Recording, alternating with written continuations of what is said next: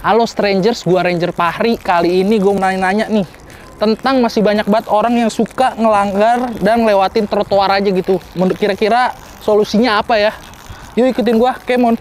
Bang, nih, makasih ya. Oke. Tuh aku mau nanya nih, eh, masih banyak pelanggar yang ada di jalan nih yang suka lewat trotoar. Solusinya sih apa sih Pak biar agar para pengguna jalan ini nggak melanggar aturan lagi? Ya yang pertama sudah pasti harus ada aturan apakah itu aturan pada tingkat daerah termasuk mungkin aturan payung hukumnya secara nasional. Yang kedua ada semacam riuh kepada yang eh, taat azas patuh kepada aturan di jalanan sehingga apanya semuanya bisa tertib ya termasuk memanfa- memanfaatkan trotoar yang saya kira itu bagian daripada peradaban gitu.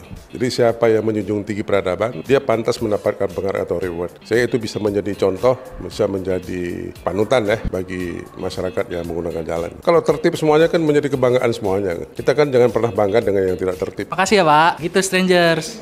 Coblos nomor 4 golongan karya.